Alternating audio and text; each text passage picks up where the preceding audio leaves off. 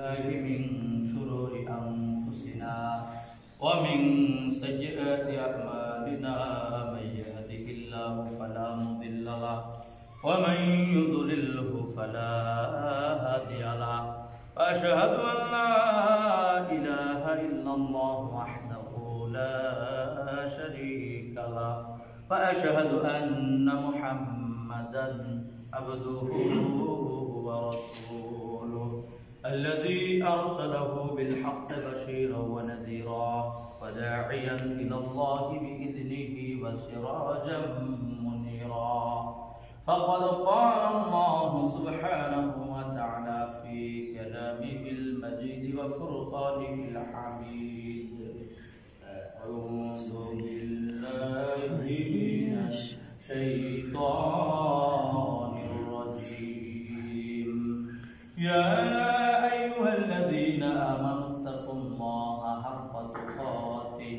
حق تقاته ولا تموتن إلا وأنتم مسلمون. يا أيها الناس اتقوا ربكم الذي خلقكم الذي خلقكم من نفس واحدة وخلق منها زوجها وبث منهما رجالا وبث منهما رجالا كثيرا الله الذي تساءلون به والأرحام. إن الله كان عليكم رقيبا. يا أيها الذين آمنوا اتقوا الله وقولوا قولا سديدا. يصلح لكم أعمالكم ويغفر لكم ذنوبكم. ومن يطع الله ورسوله فقد فاز فوزا عظيما. أما بعد قال النبي صلى الله عليه وسلم يا معشر الشباب من استطاع منكم البعث فليتزوج رواه البخاري الحمد لله সর্বশেষ প্রশংসা সে আল্লাহ রবুল্লা আলমিনের জন্য যে আল্লাহ সুবাহানা হুয়া তারা আমাদেরকে আজকে আসরের সলাদ জামায়াতের সহিত আদায় করার পরে আল্লাহ রবুল্লা আলমিনের দেওয়া একটি বিধান সেটি হচ্ছে বিবাহ, তো এরকম একটি গুরুত্বপূর্ণ এবাদতের মধ্যে, বিশেষ করে সুন্নতি পদ্ধতিতে মসজিদের মধ্যে হয়তো বা আমাদের এলাকার মধ্যে হতে পারে এটা প্রথম একটি বিবাহ অনুষ্ঠিত হচ্ছে। মসজিদের মধ্যে আমরা একদম কোরআন সুন্নার আলোকে রসুল সাল্লাহ আলী সাল্লাম যেভাবে বিবাহ করিয়েছেন এবং আমাদেরকে পড়াতে বলেছেন, সেই অনুকরণে আজকের এই বিবাহ অনুষ্ঠিত হতে যাচ্ছে এজন্য আমরা আবারও শুক্রিয়া করি আলহামদুলিল্লাহ। আলহামদুলিল্লাহ। সালাতু সালাম পরিশুদ্ধ হোক সাইয়্যিদুল মুরসালিন খাতামুন নবীন রাহমাতুল আলামিন। মুহাম্মদ রাসূলুল্লাহ। সাল্লাল্লাহু আলাইহি ওয়াসাল্লাম। আল্লাহুম্মা সাল্লি আলাইহি আল্লাহুম্মা বারিক আলাইহি। সম্মানিত মুসল্লিন একরাম বিবাহের মধ্যে খুতবা দেওয়া একটি হচ্ছে সুন্নাহ যদি আবশ্যক নয় তবে এক্ষেত্রে কিছু নসিহাত থাকে এবং কোরআন কারিম থেকে রসুল আসলাম যে আয়াতগুলি পড়তেন তো সেই বিষয়গুলি আমরা চেষ্টা করি পড়ে আমরা বরকে সেই বিষয়গুলি সম্পর্কে একটু জানিয়ে দেওয়ার চেষ্টা করি। তা আলহামদুলিল্লাহ, সময় সংক্ষিপ্ততার কারণে হয়তো আমরা সংক্ষিপ্ত আকারেই আমরা একবার বিষয়টিকে শেষ করব। এরপরে পরবর্তী বিবাহের যে মূল কাজ সেটি আমরা করব ইনশাআল্লাহ।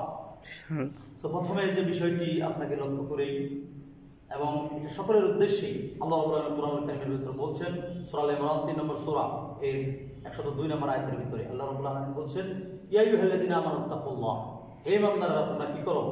আল্লাহকে যথাযথ ভয় করো। হাক্কা তুকাতিহ যেমন ভাবে তাকে ভয় করা উচিত। আসলে আল্লাহকে যেভাবে ভয় করা উচিত, আমরা সেইভাবে কিন্তু ভয় করি না। আর আল্লাহ আমাদেরকে ভয় করতে বলছেন কি? হাক্কা তুকাতিহি, তার যে হাক রয়েছে, সেইভাবে তোমরা তাকে ভয় করো। বলে তেমুতুন্না, আর তোমরা মৃত্যুবরণ করো না। ইল্লা মুসলিমুন। মুসলিম না হয়ে তোমরা মৃত্যুবরণ করো না। এটা আল্লাহ কারীমের ভিতরে আমাদেরকে উপদেশ দিয়েছেন। এবারে সূরা নিসা 4 নম্বর সূরার একেবারে শুরুতেই এক নম্বর আয়াতে আল্লাহ আলামিন বলছেন, ইয়া আইয়ুহান নাস সমস্ত মানুষকে এবার লক্ষ্য করে আল্লাহ বলছেন।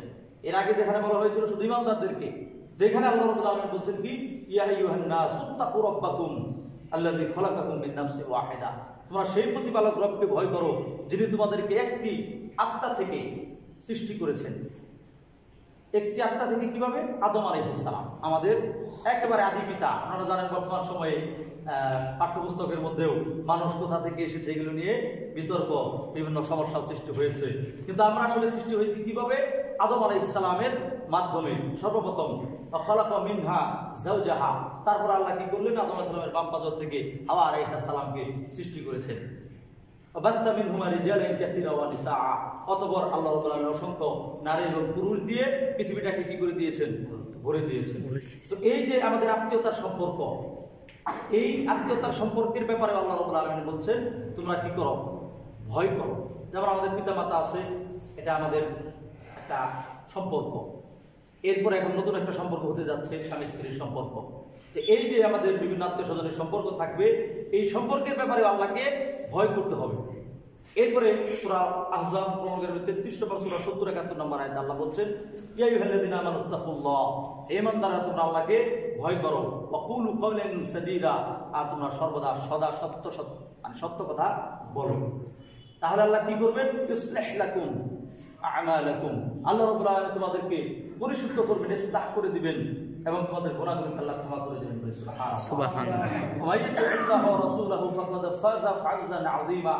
আর যাকে আসলে ক্ষমা করে দেওয়া হয় সে ব্যক্তি কি হয়?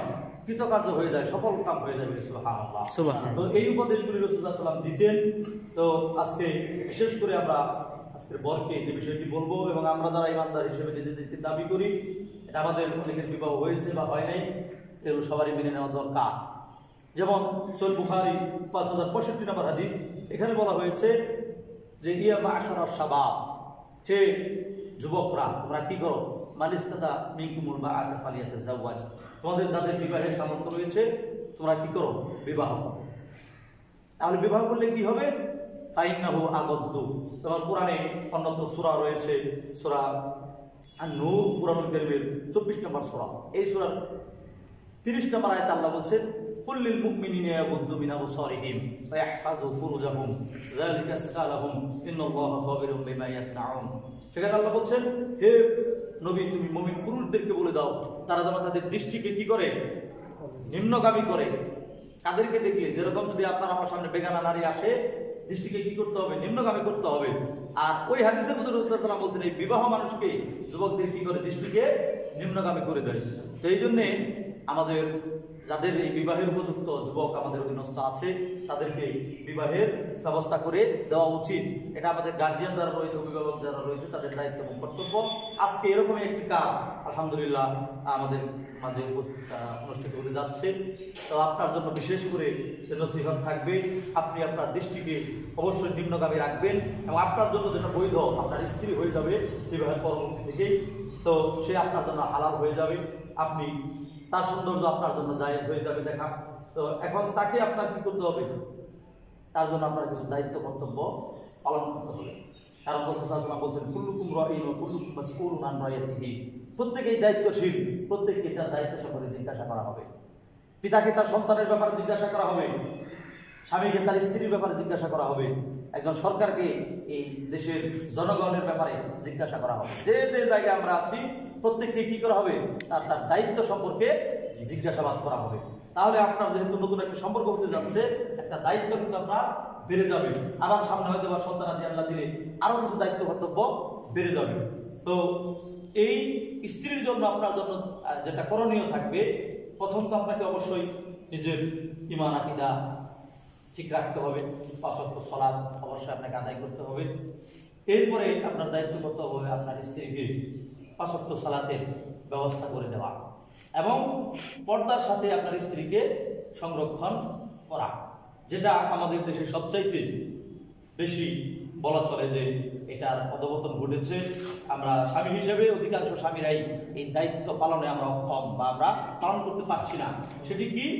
যে তাদেরকে যে পর্দায় রাখতে হবে এটা আমরা অনেকেই ভুলে যাই। আবার পর্দা কাকে বলে এটা আমরা অনেকেই বুঝি না। হয়তো আমরা মনে করি একটা পর্দা বলল আত্মীয় বাড়ি গেলাম, বাজারে গেল, এই তো পর্দা হয়ে গেল। কিন্তু পর্দা বিষয়টি আসলে আমাদেরকে মুসলিম হিসেবে যেভাবে আসলে বোঝার কথা ছিল সেইভাবে আমরা বুঝতে পারিনি। চোদ্দ জন পুরুষের কথা বলা হয়েছে সুরান নূরের মধ্যে। সুরান নূরের একত্রিশ নম্বর আয়তের ভিতরে আল্লাহ উল্লেখ করেছেন যে, চোদ্দ জন পুরুষ এদেরকে বলা হয় মাহরাম। মানে এদের সাথে বিবাহ হারাম। আবার অনেকেই কিন্তু জানি না এই চোদ্দ জন পুরুষ কারা সবাই কি জানি? জানি না যে যেই চোদ্দ জন পুরুষের সাথে বিবাহ হারাম। যেমন এটা আপনারা মুখস্থ করে নেওয়া উচিত প্রত্যেকটা মুসলিমের। কারণ এটা ফরজিয়াত বিধান তাই না? পাঁচাত্তর সালাদ কি? ফরজ বিধান। ফরজ। আইন। ঠিক তেমনিভাবে পর্দা প্রসিদ্ধা করাটা কি? ফরজে আইন। পাঁচাত্তর সালাদ তো তাও আহ, পাঁচটা সময় হয় চব্বিশ ঘণ্টার ভিতরে। আর পর্দা করা নারীদের জন্য যখনই তারা বাহিরে থাকবে বা তার যে কোনো জায়গার মধ্যে এই পর্দার প্রসিদ্ধার মাধ্যমে রাখতে হবে। তো এটা দায়িত্ব হয়ে যাবে এখন স্বামীর জন্য। এতদিন ছিল মেয়ের যে অভিভাবক ছিলেন পিতা তার জন্য। এখন সেটা কি হবে? স্বামীর কাছে সেটা হস্তান্তর হবে। তো এই যে দেখেন আমরা এই জিনিসগুলো অনেকে কিন্তু জানি না। চোদ্দ জন পুরুষ। যদি আমি নাই চিনি, তাহলে আমার স্ত্রী কার সাথে পর্দা করবে? আমি নাই যদি জানি তাহলে কীভাবে আমি পর্দায় রাখব? তাহলে আমাদেরকে একটা মুখস্থ রাখতে হবে। এক নজরে বলছি, যদি মনে রাখতে পারেন ভালো, বা পরবর্তীতে অবশ্যই আমরা ইচ্ছা করলে এগুলো আমরা জেনে নিতে পারি। তো প্রথম দিকে যদি খেয়াল করেন যে পিতার মতো এরকম পাঁচজন ব্যক্তি আছে। পিতার মতো। যেমন নিজের পিতা, এরপরে আছে কি? মামা, চাচা, এরপরে আছে দুধ বাবা এবং হলো শ্বশুর, যেটা নতুন করে এখন বিবাহের পরে হয়। এই পাঁচজন হলো পিতার মতো। এদের সাথে বিবাহ কি? হারাম। পিতার সাথে, শ্বশুরের সাথে, দুধ বাবার সাথে, এরপরে মামা এবং চাচা। পিতা, পিতার মতো বলতেছি, এই পাঁচজন হলো পিতার মতো। এরপরে আছে কি? ভাইয়ের মতো পাঁচজন। ভাইয়ের মতো কীভাবে? যেমন দাদা আছে, নানা আছে, এরপর আপন ভাই আছে, আর দুধ ভাই আছে। হ্যাঁ? এটা হলো এরা হলো ভাইয়ের মতো চারজন এরপরে আপনার আছে ছেলের মতো। ছেলের মতো রয়েছে পাঁচজন। চারজন হলো ভাইয়ের মতো আর আর একটা সরি পাঁচজন হলো ভাইয়ের মতো আর একটা নাতি। নাতি তো ছিলেন নাতি, যেটা ছেলের ঘরে বা মেয়ের ঘরে হতে পারে, আপন নাতি। এর সাথে বিবাহ করা হারাম। আর ছেলের মতো আছে চারজন। ছেলের মতো নিজের ছেলে, এরপরে ভাইয়ের ছেলে বা ভাইস্তা বা আমরা বলি, এরপর বোনের ছেলে ভা- ভাগিনা এরপরে রয়েছে যে এই যে বিবাহের পরে স্বামীর জন্য কি? স্বামীর জন্য এটা বৈধ রয়েছে, আর এটা হলো জামাই যাকে আমরা বলি মেয়ের জামাতা। অর্থাৎ শাশুড়ির সাথে এই জামাইয়ের বিবাহ হারাম। এরকম চোদ্দ জন, একটা নারীর জন্য চোদ্দ জনের কথা বললাম, লিস্ট উল্লেখ করলাম। তো এই চোদ্দ জনের সাথে বিবাহ হারাম, এদের সাথে আপনার স্ত্রী দেখা দিতে পারে। এরপরে যদি সেটা এরকম খোলামেলা বিষয় তা নয়, অবশ্যই তার সেটারও একটা মানে প্রয়োজনীয়তা মূল তো থেকেই থাকবে, শুধু হাত বা মুখ ফেসটা দেখাতে পারবে। তো নারীদের ক্ষেত্রেও নারীদের পর্দা করতে হয়। এক নারী আর নারীর সাথেও পর্দা করবে। এভাবে অনেক বিষয় আছে পর্দা সংক্রান্ত। তবে আমরা পর্দার ক্ষেত্রে যেন এই বিষয়টা খুব খেয়াল করি এই চোদ্দ জন ব্যতীত যত পুরুষ আছে, আপনার ছোট ভাই হতে পারে, আপনার বড় ভাই হতে পারে, আপনার দুলা ভাই হতে পারে, এভাবে যত আপনার খালাতো ফুবাতো যত ভাই আছে এদের সাথে কি দেখা দেওয়া কি? হারাম হারাম। আপনার জন্য আপনার স্ত্রীকে তারা দেখতে পারবে না আপনার যত ভাই ভাই আছে এরা দেখা দিতে পারবে না। কিন্তু আমরা পর্দার ক্ষেত্রে কি এগুলো রক্ষা করতে পারি? আমরা পারি না। তো এটা কিন্তু আপনার দায়িত্ব হবে নইলে কিন্তু আপনি দায়ুসের অন্তর্ভুক্ত হবে দায়ুস কাকে বলা হয়? যে ব্যাপারে হাদিস রয়েছে। মাসাবিহের ছত্রিশশো পঞ্চান্ন যেটি সোনার নাসাই হাদিস পঁচিশশো তেষট্টি নম্বর হাদিস। এখানে রসুল্লাহ বলছেন সালাসাতুল কদ আলাইহিমুল জান্নাহ। তিন শ্রেণির ব্যক্তিদের জন্য জান্নাত হারাম।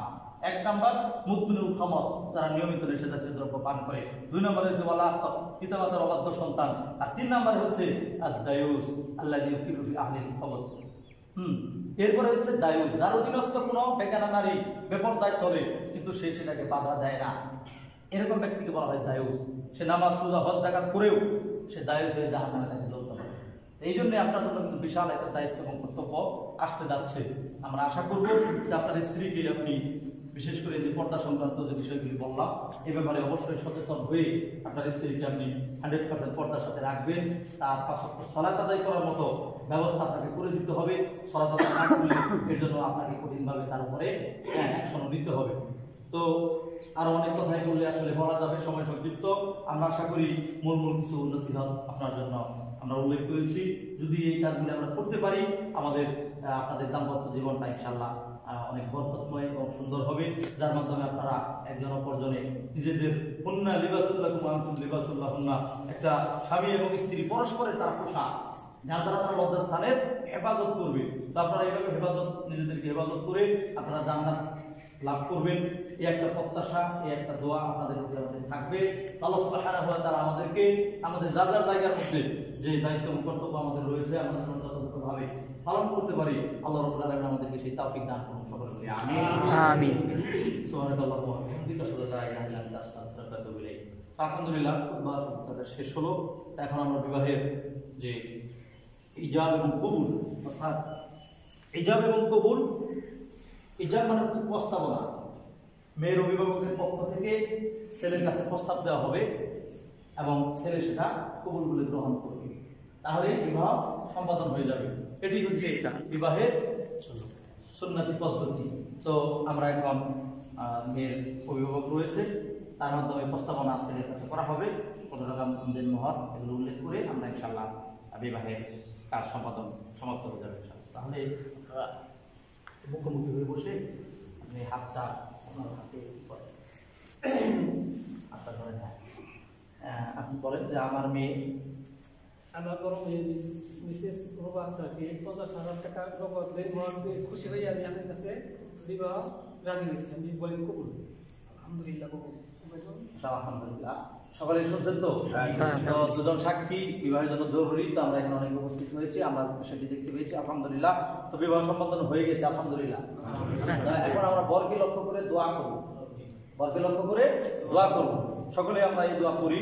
অনেকের হয়তো মুখস্থ আছে বা নাই আমরা দোয়াটা করি। এবং-? হ্যাঁ, অনুবাদ আমি করে দেওয়ার চেষ্টা করছি ইনশাআল্লাহ। সবাই পড়েন। বারাকাল্লাহু লাক। বারাকাল্লাহু। ওয়া বারাকা আলাইক। আলাইক। ওয়া জামাআ বাইনাকুমা। আচ্ছামা বাইনাকুমা। ফি খাইর ফি খাইর। এবার অর্থটা একটু বলে দিই। বারাকাল্লাহু লাক অর্থ হচ্ছে আল্লাহ রাব্বুল আলামিন তার উপরে বারাকাত অর্থাৎ বরকত নাজিল করুন। বা বারাক আলাইহি আল্লাহ রাব্বুল আলামিন তার উপর তাকে প্রাচুর্য দান করুন, সম্পদ দান করুন। ও এবং তাদের স্বামী স্ত্রী উভয়কে আল্লাহ রবুল আলমী কল্যাণের সাথে একত্রিত করুন। এ হচ্ছে সুন্নতি দোয়া, আমরা সেটি বললাম আলহামদুলিল্লাহ। এখন মিষ্টান্ন বিতরণ করলেই